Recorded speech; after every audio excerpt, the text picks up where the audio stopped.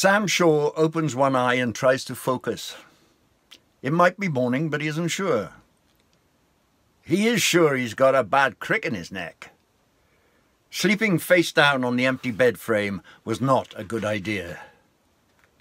A faded blue tattoo of Beethoven twitches across his back. He turns over slowly and looks around at the peeling wallpaper, the cardboard stuck in the window, and the lonely light bulb in the middle of the ceiling. Christ, he says. He takes a deep breath and remembers where he is. He pulls his coat around him and sits up slowly. He picks up the empty bottle of scotch at his feet and creaks downstairs. Halfway through his cup of tea, he looks around at the neglected kitchen. This was his first trip home in many years, and he wonders if it was a good idea. He arrived as the only passenger on the last bus up the valley the night before, a Friday. There was nothing to see but dark, wet streaks across the windows. The town of Pengard was never much to talk about even in the good times before his parents died and left him the house, before his army days, before his wild years, as he called them. Pengard is at the end of the line before you reach the Brecon Beacons. People come to look and wonder, but always move on quickly up the mountain to something more seemly. The pit head is gone, the high street is half boarded and the flagstones are broken. This tired town is crumbling back to form the quarries of its birth. With a couple of exceptions, the people are crumbling too, head bowed and grey-skinned against the sloping streets of wind and rain.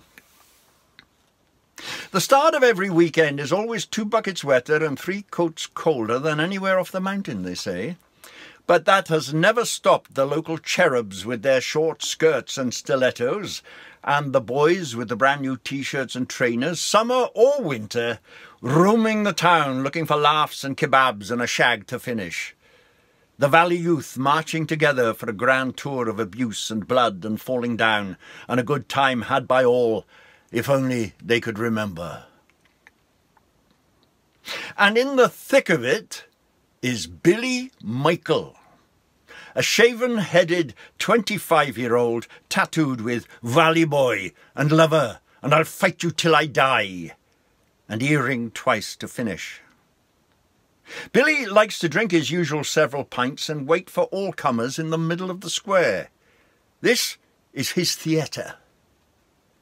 The high-heeled girls sidestep the vomit and chicken boxes and stand in corners, fagging and screaming encouragement as the boys roll and bite and cuddle each other in the red-soaked rain, finger rings flashing under the neon and the steam. And Billy holds vicious court to his left, his right, with boot and knee, and he smiles all the time, almost singing, as he drops one more soul down to the gutter to finish with a quick crack tap from his head a kind of badge of ownership to the cheekbone of another unfortunate hoping to make his name, as he's welcomed to Billy's Friday night Valley Carnival Stop Tap Jamboree. The Clarion is a barn of a place on the town square. In the past, it was the pride of top-hatted steelmen and coal magnates, a grand palace built for congregation and education. Now on a Friday, it's just a rough pub full of screams and shouts and alcopops and snogging overlooking the war memorial. And in the middle of this party, Sam descended from his wheezing bus. As he stepped onto the pavement, a beer-soaked huddle of rowdy youth rumbled by. Sam got sideswiped with no intent and was on his backside in a moment. Only one person heard his cursing and saw his fall. Billy turned back for a moment to look at the old bugger on the floor. He saw a bundle of a man rocking like a downed rhino. Billy nearly moved towards him, but more important business dragged him off. Sam thinks the kitchen looks like shit. But why should ten years of tenants care? Then the Pain, rotting his guts, doubles him up, and he holds on for its passing, more frequent now. He tries to breathe deeply, as he's been told, and wondered if he should care either. Sam slaps his face and finishes his lukewarm tea. The Clarion is a different kind of place in the day. Fag smoke still seeps from the brickwork and the nicotine ceiling drips on your head. But there are only cards and dominoes, clack slap, and a clearing of throats and mumbles. Sam nudges in for a pint and after his order takes in the room. He feels no threat as cracked faces look his way, wondering. There's nobody he knows, but there is a familiar taste in the air. He asks the barman about a name, anybody who does a bit of painting and stuff, and a croak comes from amidst the dominoes. Billy's your boy! Billy! Billy Michael! With nods and grunts in agreement, the domino king continues, Give me your address and I'll let him know. Right, says Sam. Clack slap. In the front room of his house, Sam opens one of a few boxes he'd sent ahead. He puts a photo on the mantelpiece. It's a photo frame of him and Betty. The one good thing he had, taken away too soon. Sam carefully unwraps some cotton wool and takes out a gold tie pin encrusted with turquoise and pearls. He sticks it into the frame, steps back, and looks at it carefully as the doorbell rings. Sam invites Billy in. You look familiar. I might be, said Billy. Drink? Ta. The beers go down well as Billy looks around at the work in front of him and Sam looks around at Billy. Sam rubs his own head and asks Billy if he gets cold in the winter with a shaved head. And Billy stares for a moment and breaks a smile and says, Oh, I usually wear a cap. Quite fancy that myself, fresh in the wind, and I don't have too far to go, says Sam, rubbing his own head once more. Do you shave it yourself? Cheaper, says Billy. What I want, Billy, is a basic paint job right through. Clean it up. What do you think? No problem. Colours? Oh, keep it simple. Magnolia, then. Money? A hundred. You'll get more than that. A day. Christ. So Sam learns quickly how all those things that seem not to have changed have changed a lot. And this mountain top was, of course, a part of the world, and how much of an old fart he had become thinking back to when and how and how it was so lovely. Bollocks!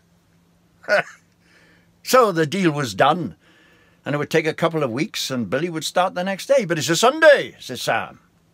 When I get going, I get going, says Billy, and I got nothing better to do. Fair enough, says Sam. And they take two more beers as Billy looks at the photo on the mantelpiece. Nice looking lady. Yes, said Sam. You married? Billy pauses, but doesn't pry. No. Kids? Around? Look after them, mind? I do, says Billy. Good for you, says Sam. Sam gets 50 quid out of his wallet and some house keys from his pocket. Here's a sub and the keys, and there'll be more for materials by Monday. No problem, says Billy, as Sam puts the money and keys into Billy's hands. Sam looks into Billy's eyes, and Billy does the same to Sam. Sam smiles and says, See you tomorrow. And so you will, says Billy as he crosses to the door. Billy looks back at Sam for a moment and nods. The days pass well and the house starts to look like a home and Billy works on and Sam moves around and new friends are found that went with the old and the world turns warmly in Sam's fearsome last days. And laughter is found to take the edge off, in the pub mostly, and old yarns taken apart and represented with other views. Billy is hard at it when a couple of head cases come a calling.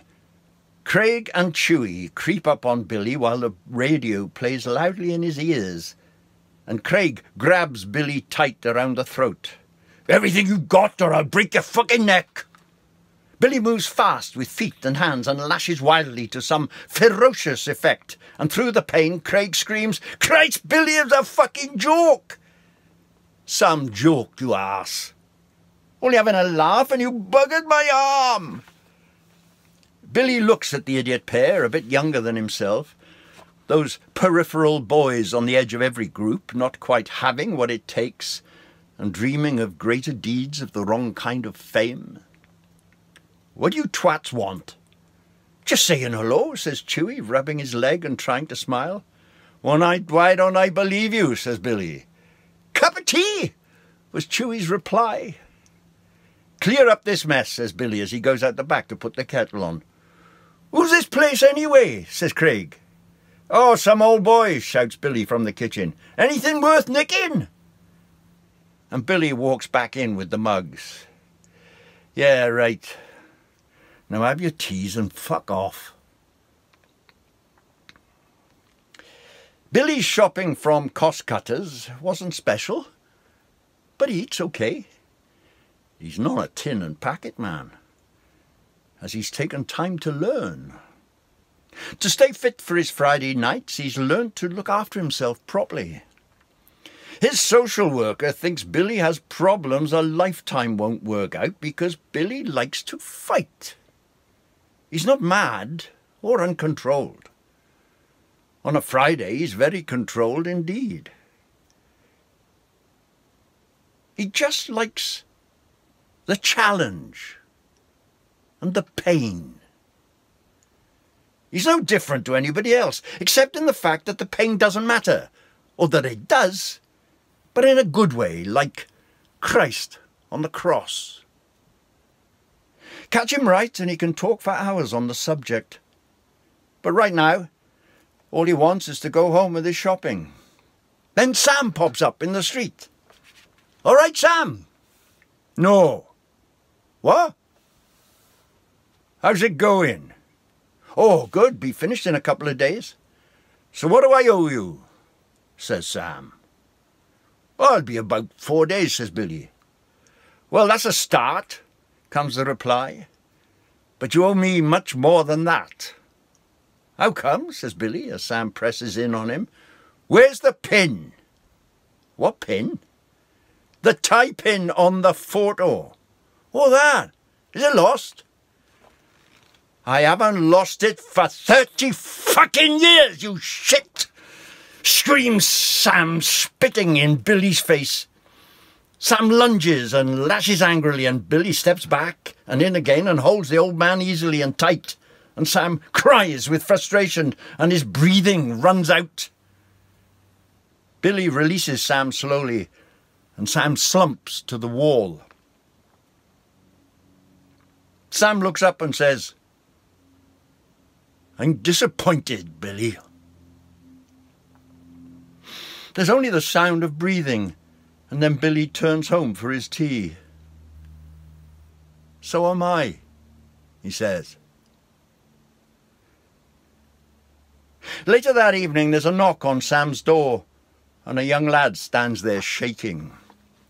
Jesus Christ, you should have that seen too, says Sam, as the boy's face moves with a throbbing blue-black. What happened? Fell over, says Craig. So come in and sit down, I'll get you a cup of tea, says Sam. Craig holds out his hand and says, I found this and somebody said it was yours. Sam takes the tie pin from Craig's palm and looks into the swollen eyes for quite some time, and Craig twists awkwardly just wanting to be gone. Very kind. Thank you. That's okay, grunts Craig to the front of the closing door. Billy is sitting at the bar staring at the bottom of his glass and Sam slides in beside him and quickly orders two pints. Billy studies a mark on the wall as Sam takes a breath and drinks. I'm old, I'm prejudiced, and I'm a prat. Billy looks at the fresh pint in front of him. You've done a good job there, Billy. You've worked hard. I want you to finish. Billy drinks long and sets the pint down. First thing tomorrow, leave the money on the table, says Billy quietly. Okay. And so, says Sam. Billy turns to look at Sam for the first time. What do you see? The worst. Billy smiles and turns back to the bar. But I see the worst in everybody, continues Sam. It's like looking at myself. It's my job. I'm a bastard and that's the way I operate. Look at this lot in here. I see the worst in all of them. Billy laughs. but I'm still here and they don't bother me a toss. Tough old bugger, aren't you? Maybe once. Now it's just one foot in front of the other. And if they did kick the shit out of me, who'd notice? That's not self-pity, Billy, that's fact. And I wouldn't give a rat's ass. Billy looks at Sam carefully. Your eyes say different, he says. And Sam turns away and says, There may be some things. And Sam hides in the depths of his beer for a short breath. Too late for me, Billy. But what about you? Billy just stares away. No? Right, says Sam. I'm an interfering old dickhead with nothing else to do, and if I can upset somebody along the way, then better still. And with a small twinkle in his eye, Sam finishes his drink. Billy runs his finger around the rim of his glass and says to no one in particular, Clouds of affection from our younger eyes conceal that emptiness which age descries. What? Nothing, I'm pissed, says Billy. Sam twists on the stool to adjust his crotch and his discomfort, and Billy mumbles, Secret, Sam, secrets. Right, says Sam as he stands up. Billy watches Sam swinging out into the night as the barman leans over. Old farts, pain in the ass. Yeah, right, says Billy quietly.